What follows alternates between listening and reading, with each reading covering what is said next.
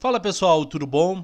Eu sou Leonardo do canal Vamos Falar de Vôlei e no vídeo de hoje irei comentar sobre a oposta italiana Valentina Diuffi, sobre sua transferência para o Perugia e o que isso pode implicar na seleção italiana.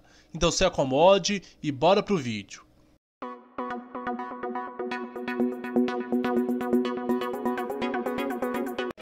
Valentina Diuffi, que está com 28 anos e tem 2,2 metros de altura, está retornando ao voleibol da Itália. Após três anos atuando fora, pelo Brasil e na Coreia do Sul, a jogadora assinou contrato com o Perugia após uma ótima passagem pelo Daejeon da Coreia, quando terminou a competição como a maior pontuadora com 963 pontos.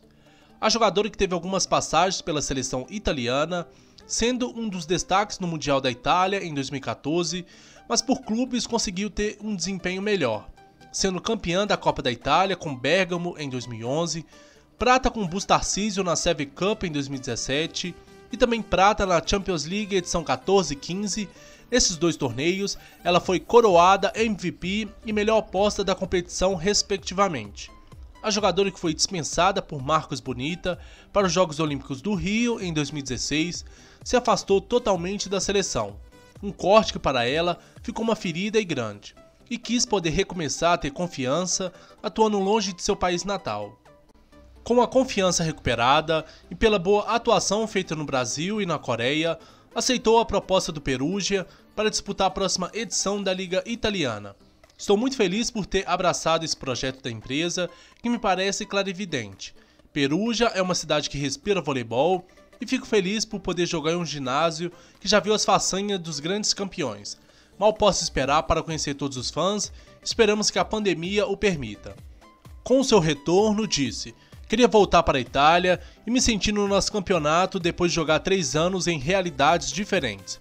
Eu também mudei muito. Agora tenho uma grande bagagem cultural, graças aos anos no exterior e cresci muito. Joguei e treinei muito. No Brasil, existe uma cultura de trabalho e levantamento de peso diferente da Itália. Fazíamos musculação quatro vezes por semana, no começo foi um choque para mim. Só fazíamos duas sessões por semana. Aí me acostumei e meu corpo aprendeu para suportar maiores esforços, e por isso também foi mais fácil. Na Coreia, perdi peso e me sinto mais atlética. Quero muito me aprimorar, quero curtir um campeonato do mais alto nível como italiano. Mais do que provar algo, quero fazer bem. Acredito muito no projeto do Perugia, sei que o clube não tem histórico de primeiros lugares na classificação, mas devemos olhar para o futuro e com a equipe que estamos montando, podemos ir bem, completou a oposta. Valentina, que com a sua volta, pode estar prestes a retornar à seleção italiana. Não vestindo a camisa da Itália desde 2016, com seu retorno para casa, é possível sua convocação. Ainda assim, a briga pela vaga seria interessante, visto que temos Sorokite e Mingard na cola de Paulo Egonu, então nesse caso, ela seria a quarta opção de opostas, algo que ficaria muito longe do sonho da atleta de voltar à seleção. Se o seu nome estará na lista do técnico David Mazzante, só o tempo dirá. Nos resta aguardar e ver o desenrolar dessa história. Se você gostou desse vídeo, peço que você se inscreva no nosso canal, deixe o seu like, comente, compartilhe e até a próxima.